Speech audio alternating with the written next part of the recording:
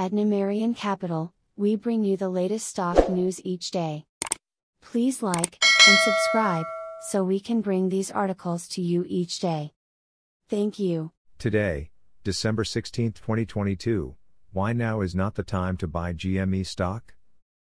The post earnings bump in GME stock looks temporary, so don't get head faked.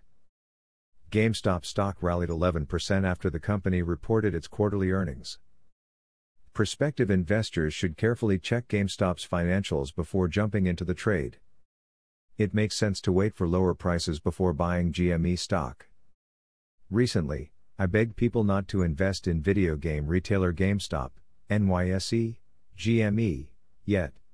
I suggested that GME stock needs to hit $20 before anyone should jump into the trade. Even after a post earnings rally, I'm standing by the wait for $20 strategy as GameStop's financials aren't as stellar as some perma bulls might assume.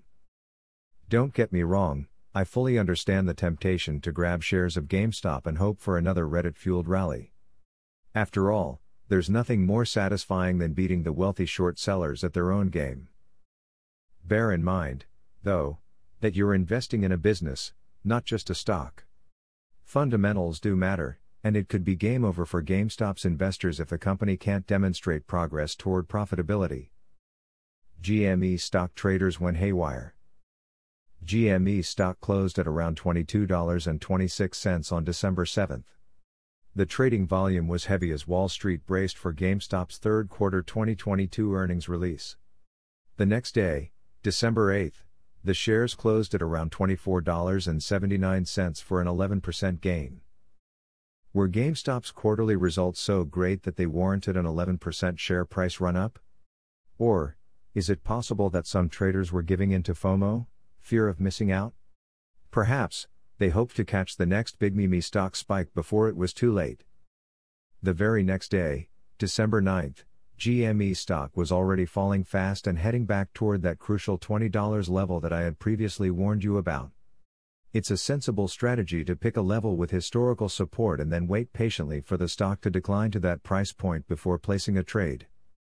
In any case, clear minded investors should consider a company's financials rather than focus solely on a stock's price action.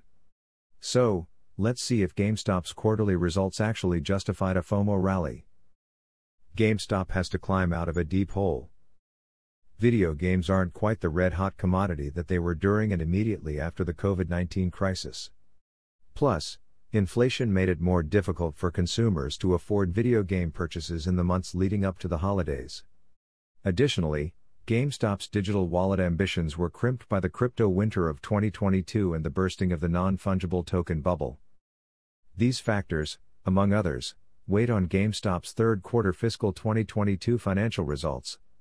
As it turned out, the company's net sales of $1.186 billion lagged the $1.297 billion generated during the prior year's third quarter.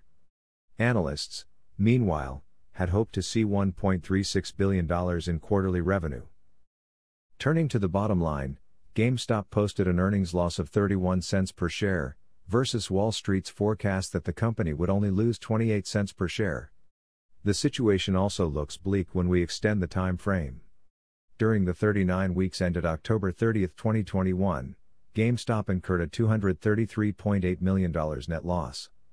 Fast forward to the 39 weeks ended October 30, 2022, and the company sustained a net loss of $361.3 million during that time. Don't fall victim to the FOMO trade with GME stock. GameStop's financial hole, it seems, has only deepened. If you're doing anything with GME stock besides flipping it for a very short term trade, be careful. Sometimes, the market gets it wrong by reacting irrationally to a company's earnings report. In the case of GameStop, there were undoubtedly some FOMO traders pushing the share price up. They might already regret their haste. You don't have to join them, as GameStop's fundamentals don't justify a long share position now. Thanks for watching. Numerian Capital News. Please come back tomorrow for another stock news update. Thank you.